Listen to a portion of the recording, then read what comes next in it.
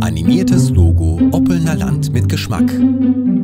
Der Koch klopft sich das Mehl von den Händen, rollt den Teig aus und bereitet schlesischen Kolotsch zu. Er nimmt den fertigen Kuchen aus dem Ofen, der Bienenzüchter nimmt eine Honigwabe heraus, das Paar geht die Weinberge entlang. Erst erscheint die Aufschrift mit Geschmack entdecken, die Schönheit der Woiwodschaft Oppeln entdecken. Der Koch begießt die rote Rübe mit Zitronensaft. Auf dem Teller präsentiert er den Oppelner Karpfen. Chilischoten fallen neben traditionellem Ziegenkäse. Sonnenuntergang am Niskiersee.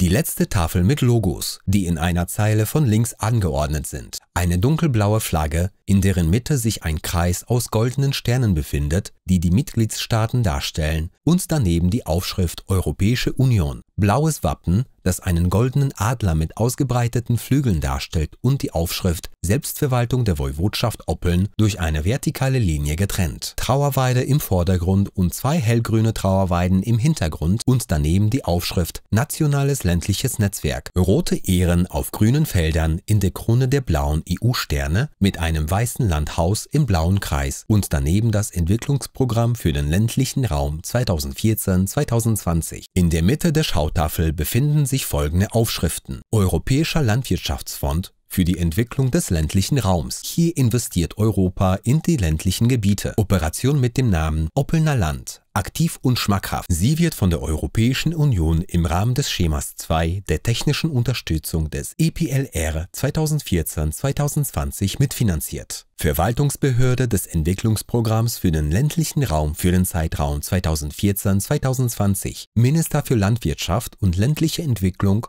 für den Inhalt ist das Marschallamt der Woiwodschaft Oppeln verantwortlich. Ende